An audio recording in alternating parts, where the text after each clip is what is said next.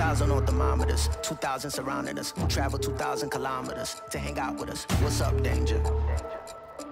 What's up, danger?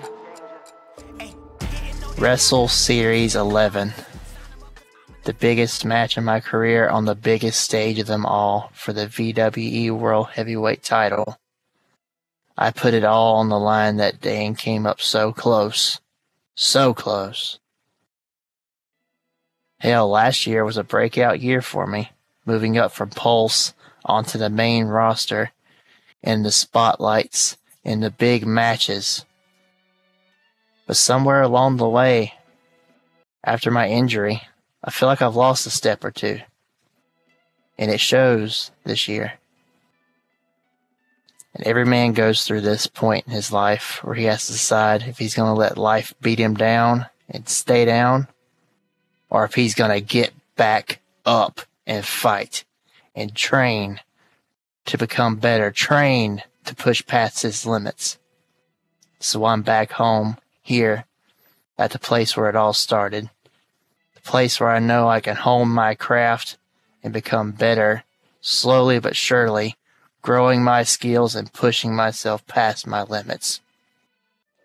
Keep on pushing myself every day, learning new techniques in the ring, not giving up, not backing down, but tapping into a new era of my skill. Because right now, I want to succeed. This is my time. I can't give up. The corruption that's going on now with the Diamond Club, with the new management. This is my time now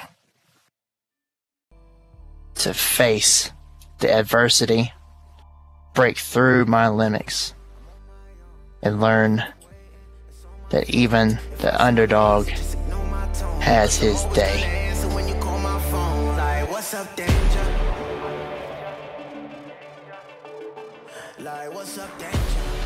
So, for my fans, for my family, for the entire BWE universe, and the company and federation as a whole, Wrex Ocelot is back, baby. And I don't plan on leaving any time soon. So, watch out. There's a wave of change coming. And it starts with me.